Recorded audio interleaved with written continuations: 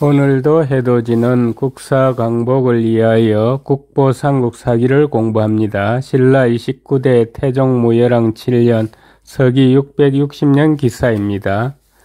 인 백제 지병하고 소망 창고하여 영 일성 핍식 집회가 제1야요 핍살 품석 부처가 끌린 일백백 건널제 갈지 병사병 백제 군사를 끌어들이고 불사를 소 망할망 꽃집창 꽃집고 창고에 불을 질러 없애 소망은 불에 타서 없어지는 것입니다.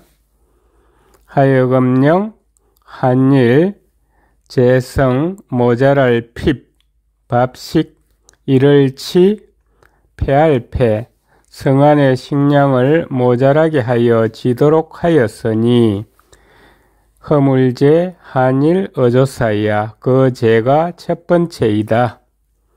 핍박할 핍 죽일 살 물건품 불석 지아비부 아내처 품석 부부를 핍박하여 죽였으니 인 백제 지병하고 백제 군사를 끌어들이고 소망 창고하여 창고에 불을 질러 없애 영일성 핍식 집회가 성 안의 식량을 모자라게 하여 지도록 하였으니 제1야요 그 죄가 첫 번째이다.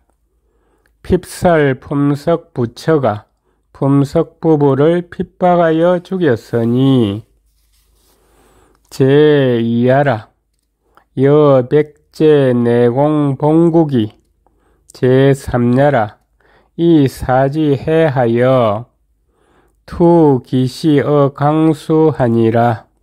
허물죄 두이 어조사야. 그 죄가 두 번째이다.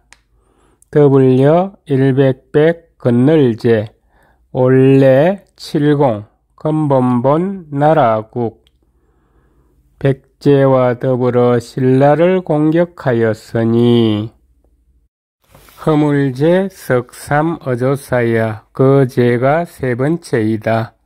서이 넉사 지탱할지 풀해 사지는 사람의 두 팔과 두 다리입니다. 사지를 찢어 던질 투 거기 주검시 어조사어 강강 물수 그 시체를 강물에 던졌다. 제2하라 그 죄가 두 번째이다. 여 백제 내공 봉국이 백제와 더불어 신라를 공격하였으니 제3야라 그 죄가 세 번째이다. 이 사지 해하여 사지를 찢어 투 기시어 강수하니라 그 시체를 강물에 던졌다.